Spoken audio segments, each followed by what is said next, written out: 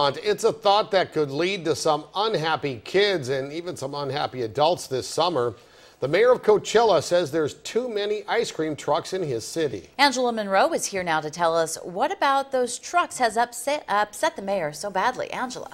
Elizabeth Coachella's mayor decided his city has too many ice cream trucks after a man driving one was arrested Monday. Police say the man exposed himself to two girls. Now the mayor says there are just far too many ice cream vendors in Coachella.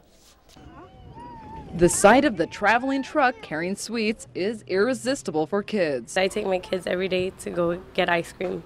So Eileen Herrera was shocked to hear this ice cream truck driver, Israel Valdez Ayala, was arrested by police. He's charged with exposing himself to young girls. Some parents told me Ayala used to park his ice cream truck on this corner by the school. He was arrested just a few blocks away. Right here in the same, same area, right here. Jose De La Torre says some vendors sell more than just ice cream. They sell other bad stuff for, you know, maybe marijuana, cocaine and. there. Coachella Mayor Eduardo Garcia says there are too many ice cream trucks in the city, about 60. So he says no more. Three ice cream men comes to my um, apartment complex every day and I did not have a clue what they do. Ice cream sellers told me off camera they agree. There are too many trucks in town.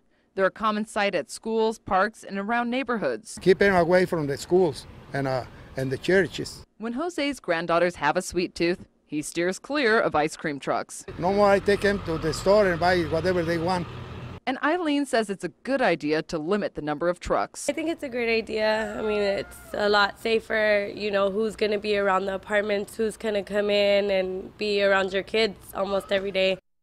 Coachella City Council will vote on May 8th on whether or not to stop giving out ice cream vendor permits in the city. Gino, Elizabeth.